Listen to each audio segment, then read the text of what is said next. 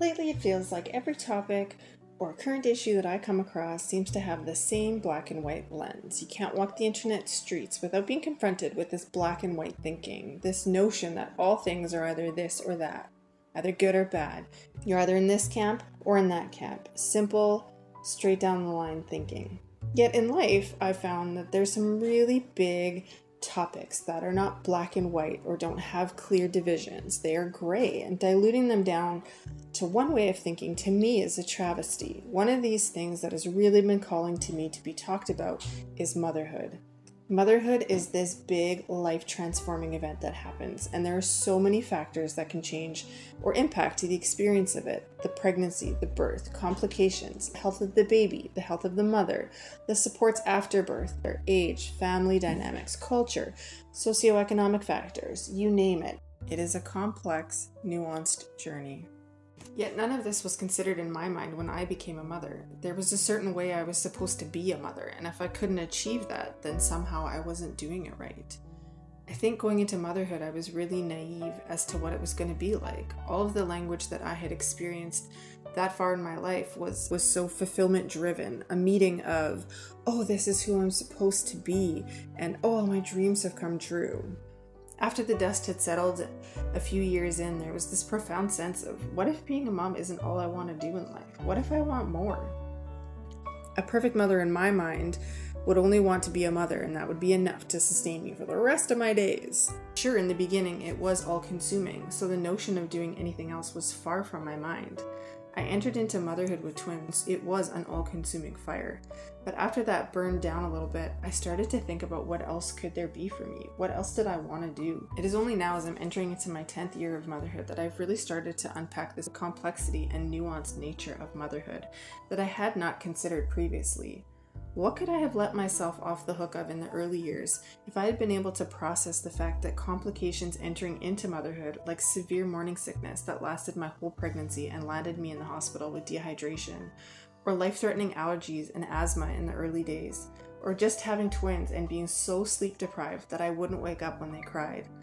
All of these things had a huge impact on my journey that I did not have the time nor the space to process. What if I understood that no one else was going to understand what it was like to be in my shoes? So, why did I take on all of their criticism and ideas of what kind of a mother I should be?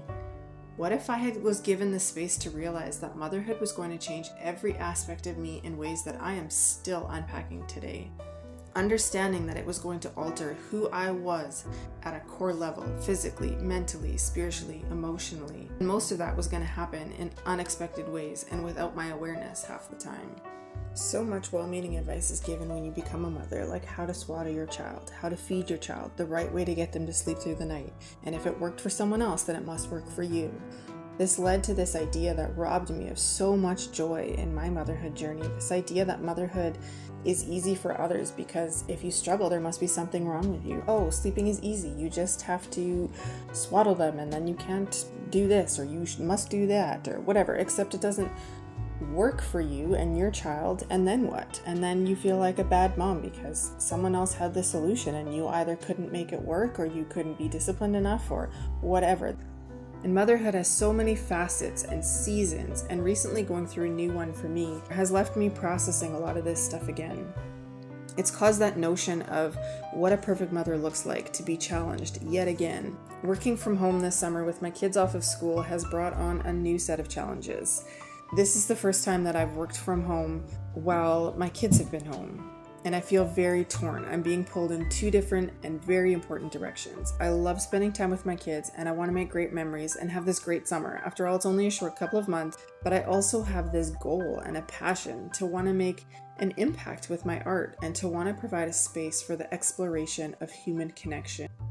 I want to explore the way that motherhood impacts women. I want to explore the nuanced way that we enter into motherhood and how that guides our journeys. I want to celebrate the simple yet powerful things that happen when we connect with one another. I want to recognize and honor those who came before, those that raised us, those that changed us, to honor those who raise, who love deeply, and who conquer in the name of others. Yet here I am working from home with my kids for the first time this summer and just trying to stay afloat. hearing my kids complain on the days that I have to work, trying to pressure me into not working. I'm feeling constantly like I'm letting them down, struggling on the fun days, I'm trying to let go of that notion that there are other things that I could be doing that would move me closer to my goals. I'm working all day and crashing into bed exhausted every night, trying to keep up with a never ending list of things that need to be done.